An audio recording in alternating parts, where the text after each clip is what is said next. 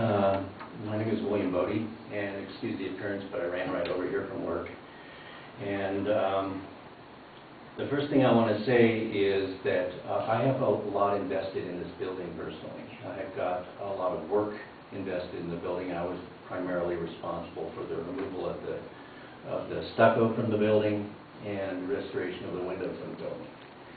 I have not been paid for a good portion of that work. I have a lien against the building to the tune of forty-two thousand dollars. Uh, So it's real, it's a major concern to me personally that the building stay in one piece. Uh, I ha- have an emotional attachment to it because I've done all this work. Any of you who have done any kind of construction work or contracting work, when you work on something, you get emotionally involved. You have a lot of craftsmanship, a lot of skill put into something, and you hate to see it destroyed. Uh, One of the things I like to, uh, to mention to Mr. Lewis is you might consider an engineering study to see if tearing down the back of the building will destroy the front of the building. Um, We have, we have businesses attached to the front of that building. How a demolition will affect uh, the businesses to either side of that building when you do tear it down. Um, We're all talking about money and the lack of money. I, I read that number of $167,000, and I think that's very low uh, to to demolish the building. We don't have that kind of money.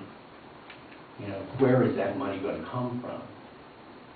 It seems to me that we would be better off to, to really address the citizenry of this community, to band together and put money, I mean, I'll pony up hundred dollars.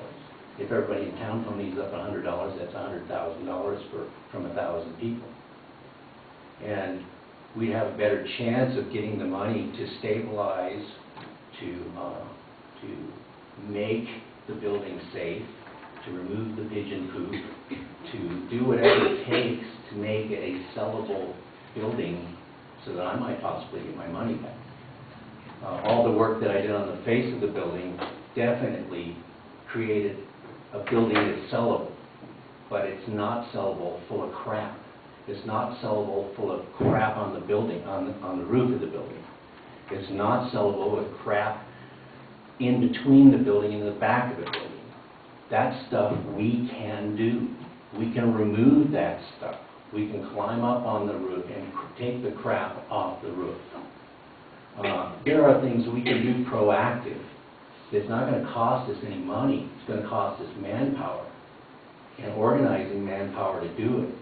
If we need scaffolding or ladders or whatever, I've got them.